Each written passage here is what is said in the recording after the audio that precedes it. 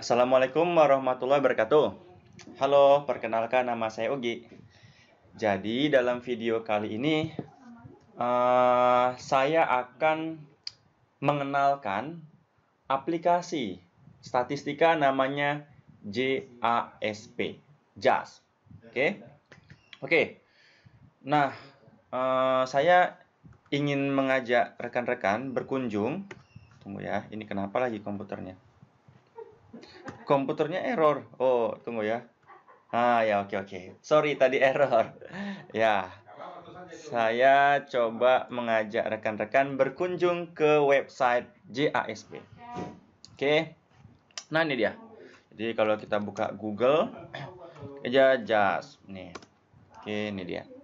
Nah, jadi JAS itu software statistika. JAS itu software statistika atau software yang menyediakan metode-metode statistika.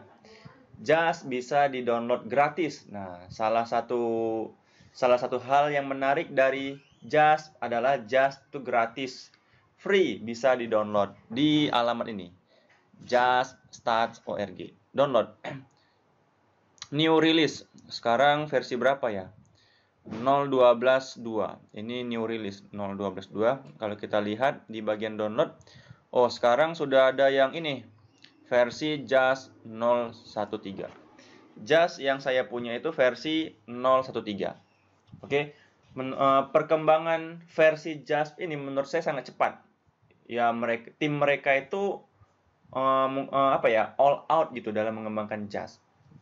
Jadi, kalau sekarang versi 013 mungkin minggu depan sudah ada 014. Jadi, perkembangannya cepat JAS. Itu dia. Oke, jadi teman-teman bisa download Just di sini. Nah, uh, kita mulai. Jadi sekilas tentang Just. Just ini merupakan software ya, software yang menyediakan metode-metode atau orang bilang tools, software yang menyediakan tools statistika. Tools statistika. Seperti apa? Contohnya, kalau teman-teman lihat tampilan di sini, ada t-test. Nah, di JASP ada t-test, uji T. Di JASP ada ANOVA. Ya, ada ANOVA juga ada.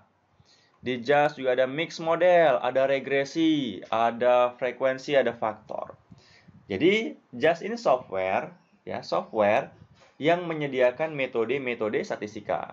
Metode statistika apa aja yang disediakan di, di? Contohnya ini ada ANOVA, t-test gitu ya. Jadi paham ya, JAS itu suatu software yang menyediakan berbagai tools atau berbagai alat uji statistika. Itu dia. Nah, selain JAS, ada soft, ada beberapa software lain yang juga menyediakan tools statistika. Ada software yang yang namanya Jamovi. Jamovi ini uh, juga software yang bersifat free dia. Uh, di Jamovi ini ya tentunya menyediakan alat-alat atau tools atau metode-metode statistika. Kalau kita lihat Jamovi, ya di Jamovi juga ada regresi, di Jamovi juga ada korelasi, di Jamo, Jamovi juga ada Ankova, Mankova, Anova, One Way Anova. Jamovi. Kalau kita berkunjung ke halaman websitenya Jamovi, kan? Jamovi, ah, statistik, kan? Nah ini dia. Nah, kita lihat, nah ini Jamovi. Download, try our online demo. Jadi Jamovi ini juga free. Oke, okay? Jamovi ini free, gratis. Oke, okay? Juga gratis, Jamovi juga gratis. Ya, apa kesamaan Just dengan Jamovi? Sama-sama software yang menyediakan tools statistika. Oke, okay? ya dalam software itu biasa ada kesamaannya. Sama-sama apa dia? Sama-sama menyediakan metode statistika. Oke, kita lanjut ke slide selanjutnya. Tadi sini. Nah, ini tampilan software ya. Yang sebelah kiri ini, yang ini, ini tampilan software dari SPSS. Ya, mungkin SPSS sudah familiar lah digunakan di Indonesia ya. Banyak orang menggunakan SPSS untuk mengolah data. Selain SPSS juga ada software Stata. Juga ada software Evius. Ya sama, JAS, Jamovi, SPSS, Stata, Evius, sama-sama software yang menyediakan metode atau tool statistika. Ya kan? Sama dia, nggak ada yang beda. Dalam hal menyediakan fitur-fitur statistika. Nah, ini Statkal. Software Statkal juga sama, software yang menyediakan metode-metode statistika. Ada regresi, ada regresi data panel, regresi logistik, dan sebagainya. Oke, nah, jadi semuanya itu dari semua software tadi itu sama-sama software statistika. Tentunya ada kesamaannya, ada perbedaannya gitu. Apa misalkan kesamaan antara semua software tadi? Kalau kita lihat JAS, Jamovi, SPSS, Minitab, EView, Statkal, kesamaannya apa? Contoh kesamaannya dalam hal menyediakan metode regresi, regresi linier. Di JAS ada regresi linier. Di Jamovi juga ada regresi linier. Di Evius juga ada regresi linier ini. Di SPSS juga ada regresi linier. Jadi teman-teman, saya nih menggunakan metode regresi linier. Jadi saya pakai software apa ya bagusnya ya? Ya, karena regresi linier ada di JAS, ada di Jamovi, ada di SPSS, ada di Evius, ya tinggal pilih aja mau pakai di software mana. Tinggal, oh ternyata saya nggak punya uang nih untuk membeli lisensinya. Saya mau pakai yang free aja. Ya udah, boleh pakai Jas, boleh pakai Jamovi. Ya, kalau teman-teman mencoba kedua-duanya, nanti pilih mana yang nyaman, kemudian mana yang fitur outputnya lebih banyak. Ya, itu mungkin beberapa pertimbangan seperti itu dia. Oke, nah terus apa sih yang membedakan Jas dengan software-software yang lain? Evius. Nah, salah satu perbedaan Jas yang mendasar ya dengan software-software statistika yang lain seperti SPSS, EVIS itu di JAS itu ada pendekatan fitur namanya Bayesian. Oke, Bayesian itu apa sih sebenarnya? Nah, ini dia. Ya proses penghitungannya menggunakan rumus Bayes. Seperti ini dia. Itu rumus teorema Bayes. Ya, ini terkait. Ini rumus-rumus menggunakan rumus teorema Bayes. Oke. Jadi Bayesian itu semacam apa ya? teorema Bayes. Jadi ada rumusnya gitu. Jadi dia menggunakan rumus Bayes gitu. Sementara di di di SPSS itu tidak uh, menurut saya belum ada pendekatan fitur biasnya belum ada. Tapi kalau Amos, software Amos, software Amos di versi 22 itu sudah ada fitur Bayesiannya. Oke, seperti itu dia. Rumus dia, rumus penghitungan. Jadi Bayes itu semacam rumus penghitungan yang menggunakan rumus bias gitu. Nah, ini beberapa referensi tentang buku tentang bias ya, ini dia. Teman-teman bisa baca tentang uh, Bayesian statistik. Ya. Nah, ini contoh tampilan dari JAS. Dari JAS di sini misalkan kita ada uji statistik namanya uji T independen ya, uji T independen.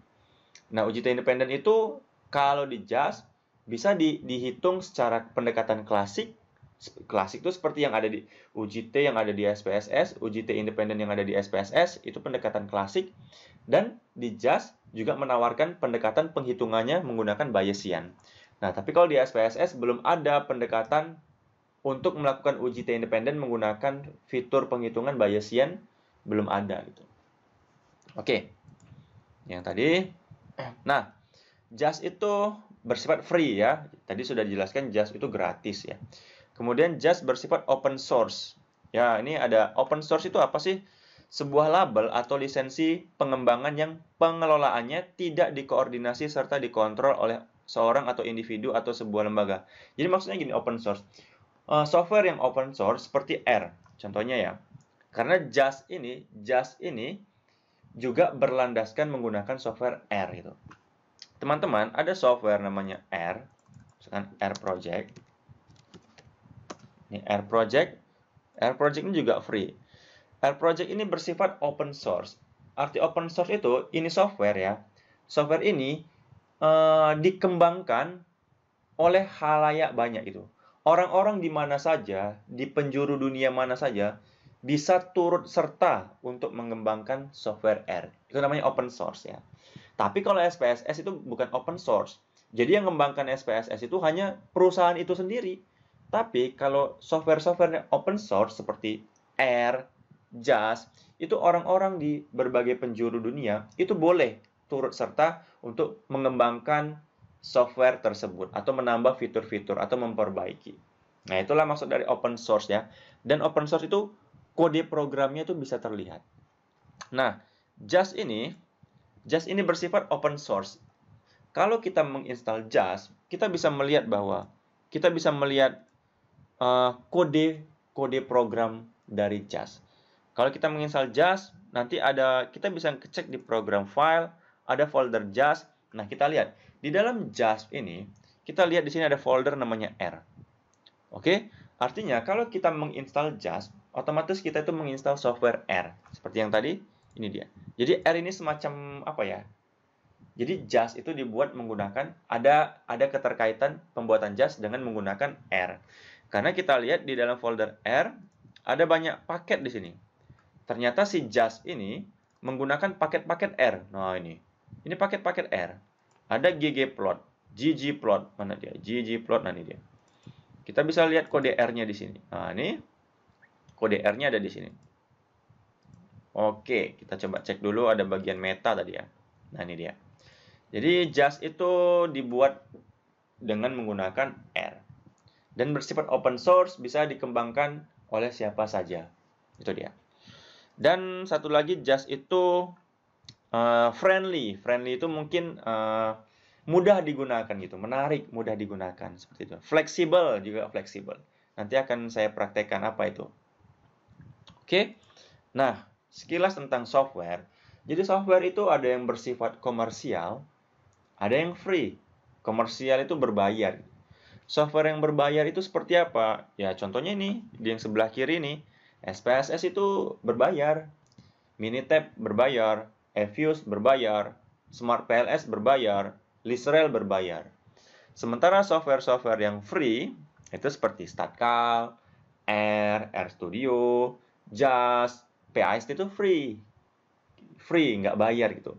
Contoh nih, kita bisa aja. Contoh ada software namanya uh, Minitab. Minitab. Price. Berapa sih harga software Minitab? Kita lihat ya di sini ya. Software Minitab. Kita lihat harganya, kita mau membeli nih yang single, single user. Kita lihat tuh, harganya 19 juta 301 ribu. Mahal kan? Software yang komersial harganya kadang cukup mahal gitu. 19 juta. Contoh software lain namanya Evius. Price. Berapa sih harga software Evius di sini pricing? Kita lihat harga software Evius untuk single user lisensi 1000 ini dia. Yang standar 1600 dolar. Wah, mahal. Kan mahal. Ya kalau punya banyak rezeki ya nggak ada masalah sih. Kita bisa membeli lisensinya. Dia. Jadi software itu ada yang berbayar, berlisensi, ada yang free. Gitu dia. Tapi bukan berarti yang free itu kalah canggihnya dengan yang berbayar enggak. Justru kadang yang yang free ini lebih powerful ya daripada yang berbayar. Seperti itu dia. Oke, Lisrael juga berbayar ya. Kita lihat Lisrael tuh harganya juga ada. Nah, di sini baru kita mau coba mempraktekkan bagaimana sih cara mengimport data ke dalam JAS. Kemudian melakukan perubahan data di JAS itu gimana? Bagaimana cara melakukan seleksi data di JAS?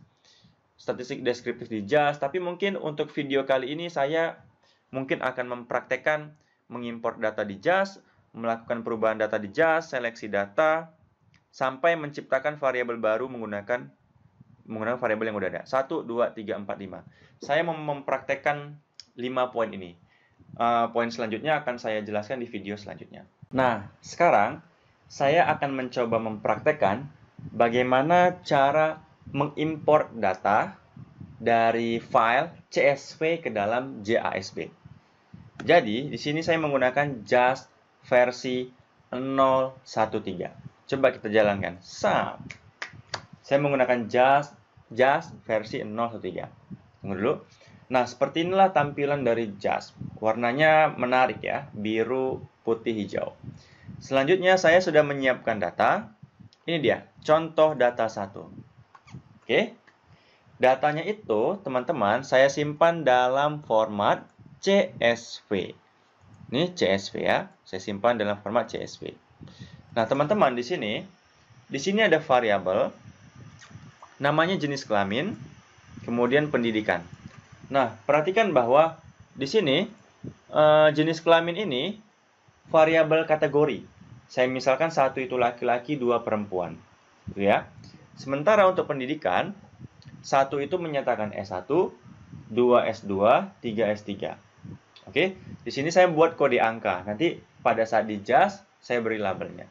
Kemudian ada variabel IQ1, IQ2. Ini contoh variabel motivasi terdiri dari tiga item, MOT1, MOT2, MOT3. Nanti akan kita totalkan di just. Begitu juga nih variabel kinerja, kin1, kin2, kin3 ada tiga item. Oke, kita save dulu. Oke, Selanjutnya, kita akan memindahkan data CSV ini ke dalam JAS. Oke, sekarang kita pilih ini. Pilih Open, Computer, Browse. Kita cari datanya. Data yang akan kita baca ini dia. Contoh data 1 CSV ya. Kita cari, ini dia datanya, kita pilih Open. Oke, sudah jadi datanya. Nah, di sini teman-teman, harus diperhatikan benar-benar ya. Ini kita bisa lihat tipe datanya. Tipe datanya ini scale, artinya numerik, angka, angka sejati. IQ 1 angka, numerik, IQ 2 scale. Tapi hati-hati di sini. Dia ini sebagai ordinal, ya. Ini sebagai ordinal. Ini juga sebagai ordinal. Kita bisa atur tipenya. Ordinal nih ordinal. Oke. Kenapa? Nanti nanti saya beritahu bakal bakal kejadian errornya seperti apa. Oke. Di sini kita sudah berhasil mengimport datanya. Sekarang, saya mau menciptakan variabel baru. Saya ingin data di kolom IQ1 kita tambahkan dengan data di kolom IQ2. Sehingga kita beri nama namanya total IQ. Gimana caranya? Kita bisa pilih ini. Oke. Kemudian namanya total IQ. Kita pilih create column. Nah, sekarang tinggal kita jumlahin. IQ1 ditambah IQ 2. Kemudian pilih compute. Tek. Nah, langsung muncullah dia total IQ. Dari mana dapat 208,84? 102,21 ditambah 98,63. Jadi total IQ ini merupakan hasil penjumlahan antara IQ 1 dengan IQ 2. Oke, sekarang kita membuat variabel motivasi. Misalkan, diperoleh MOT1 tambah MOT2 tambah MOT3. Coba kita buat lagi. Klik, kita buat motivasi. Kita pilih create column. Berarti MOT1 tambah MOT2 tambah MOT3. Kita compute. Nah, terjadi kesalahan di sini. Kenapa? Ayo tebak. Karena di sini MOT1, MOT2, MOT3 skalanya itu bukan scale dia sebagai kategori sehingga tidak bisa dijumlahkan. Solusinya gimana? Kita rubah dia jadi scale. Oke, sekarang kita rubah dulu. Uh, ini kita hapus dulu. Klik-klik. Nah, oke. Sekarang kita ganti dulu uh, tipenya ya. Kita klik ini. Kita ganti dengan scale. Oke. Mode 2 kita ganti dengan scale. Oke. Mode 3 diganti dengan scale. Oke, sekarang baru kita jumlahkan ulang lagi. Oke. Kita coba di sini MOT 1 tambah MOT2 tambah tambah MOT3. Nah, itu ya. Sekarang kita compute. Nah, sudah berhasil. Dari mana 12? 4 tambah 4 tambah 4, 12. Dari mana 11? 3 tambah 3 tambah 5. Sekarang kita coba save dulu ya. Pilih file. Di sini pilih save.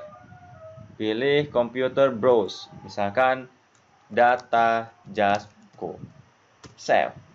Apakah sudah ada disimpan? Sudah ada disimpan. Oke, seperti itulah sekilas mengolah data di JAS. Nantikan video kelanjutannya, semoga bermanfaat. Mohon maaf atas segala kurangan. Assalamualaikum warahmatullahi wabarakatuh.